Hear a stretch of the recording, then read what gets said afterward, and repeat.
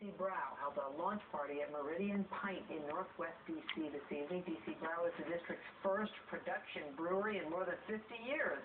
Tonight, people lined up around the block to try their American Pale Ale. The Public, the last brewery in the district, closed its doors back in 1956.